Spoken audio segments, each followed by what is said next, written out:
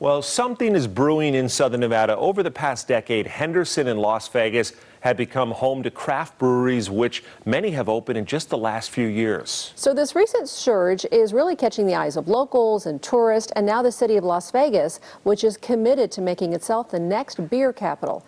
Kate Houston took her very own brewery tour across the valley to see how these businesses are pouring new life into southern Nevada one pint at a time. We're getting uh, a lot more uh, locals coming down to visit. We're getting a lot more people feeling it's safer down here to come and actually enjoy the breweries, enjoy the new businesses. Scott Seals works for Able Baker Brewing, which opened nearly two years ago and is known for its atomic duck logo and the widely distributed IPA of the same name. We were kind of the beginning of this boom.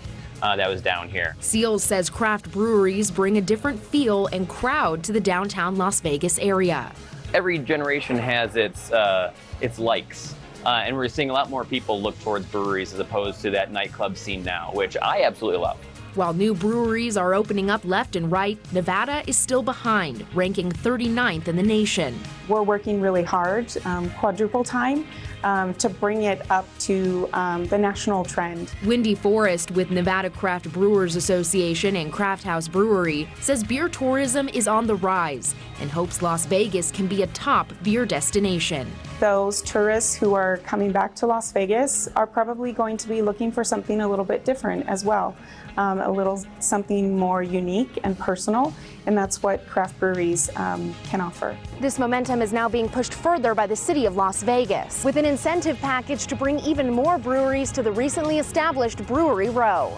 This brewery boom is wide reaching and bringing new opportunities to North Las Vegas. Construction's really underway. Amanda Pion is in the process of opening North Fifth Brewing. I feel like our location is great because we do have all the businesses. And a lot of these uh, workers have come to us as soon as they saw the sign and were like, oh my gosh, I get to have craft beer after work, or even just to take it home, just to have that option close by. Pion hopes to open shop by the end of the year. It's not just beer. You know, it's not just something that you can drink to have a good time, but you get so many different flavors.